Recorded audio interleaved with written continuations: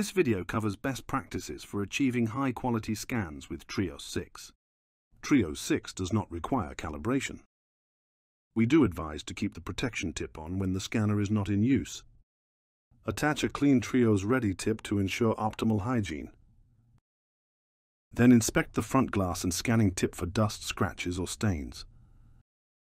To avoid cross-contamination between patients, you must also apply a Trios sleeve before each use. Dry the teeth to remove saliva and moisture. This prevents scan distortion. The recommended scan strategy follows three sweeps, occlusal, lingual and buccal. It is important to turn off any direct light, such as from the dental chair lamp or loupes with mounted lights, as it can interfere with the shade quality. Start by positioning the scanner on the occlusal surface of the lower molar. Hold the scanner properly, press the scan button and begin scanning. The LED ring will change to white while scanning is active. Hold the scanner at a 45 degree angle and keep the tip parallel to the tooth surface. Move the scanner smoothly from the molars toward the incisors, keeping light contact with the teeth.